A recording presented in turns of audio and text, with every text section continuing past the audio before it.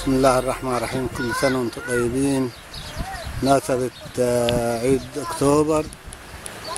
المقاتل عبد الرؤوف جمعة كريم جند في 7 11 65 شاركت في حرب اليمن سنتين. رجعت من اليمن اشتركت في حرب الاستنزاف أربع سنوات.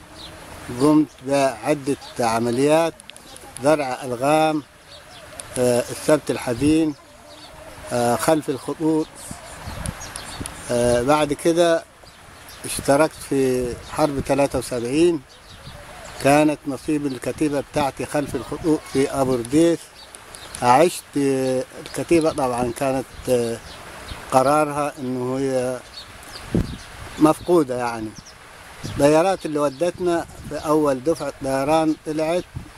الساعة 2 بالضبط. كانت كانت ع- فوق البحر الأحمر على منطقة أبو رديس كل القوات اللي خلف الخطوط القوات الخاصة دي هاتي لمنع احتياط العدو من وصوله لقناة السويس عشان ما يعرقلش آه، عبور القوات المسلحة رغم إن الكتا- الكتيبة طبعا مفقودة ومش هترجع تاني. لأنه ملهاش إمداد ملهاش إمداد ولا الطيارات اللي ودتك هترجع تاخدك ولا لا مؤاخذة ولا لا تخلي جرحى ولا شهداء ولا أي شيء. بس المهمة بتاعتك كده. أنا أصبت بدفعة رشاش خلف الخطوط وعشت سبع شهور مع سيادة اللواء عبد الحميد خليفة ده قائد فصيلتي وسيادة اللواء مجدي شحاتة ومحمد عبد الرحمن.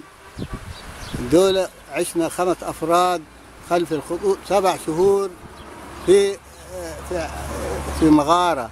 يعني أنا قعدت أربع شهور ما شطفتش من الدم بتاع بتاع العملية ال- دفعة الرشاش اللي دخلت فيها وربنا أكرمني كرم كبير وشفاني. وقعدنا سبع شهور خلف الخطوط في مغارة. آه، ومشينا شهر يعني نحمد الله ونشكر فضله والفضل لبلد لبلدي. أهم حاجة إنه البلد تبقى تعيش ونحمد الله ونشكر فضله. وزملائي غالبية كل استشهد ودمرنا مطار أبو وال- والقائمين عليه ودمرنا أتوبيسين مليانين بالأفراد اللي هم يشغلوا المطار. وأنا طالب القوات المسلحه ان هي تساعدني في بني في بنية البيت. أو أولادي يتوظفوا. أنا ما فيش ولا واحد توظف أولادي. كلهم.